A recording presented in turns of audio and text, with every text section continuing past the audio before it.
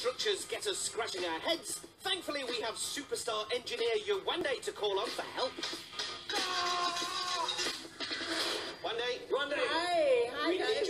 Okay. Big time. All right, you've come to the right place. We're trying to recreate the world's tallest building, Okay. the Burj Khalifa. Oh, good. But we want to build it out of straws. Out of straws. How do we do that? Because, you know, if you put in straws one on top of another, Yes. five metres high, Okay. it's just going to fall over. Exactly right. We already know Fazlur Khan's amazing idea Yes. of actually putting the support mechanism of the building Yes, did. the That was very outside. big in London, just like Exactly. that, yeah. But, but he had another idea.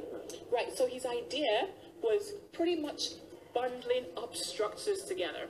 Air flowing around a curved surface forms what you call vortices. And they're pretty much like spirals, right? They just keep on going round and round and round and round. Living in downtown Shanghai, it's so easy to see how much energy is consumed on a daily basis. In this city alone, population has grown to 24 million people. Why this country needs more energy.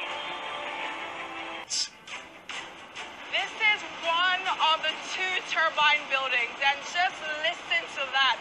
That is the sound of huge quantities of water traveling at up to 80 miles per hour. A futuristic concept currently unique in the world. That's different and very unique about the maglev is the fact that it floats. It hasn't got any wheels, it floats across the guideway all the way to the airport. Now the maglev is just about to pull out of the station. When it's at its top speed, it'd be moving at 431 kilometers an hour. That is just beyond belief. Incredible.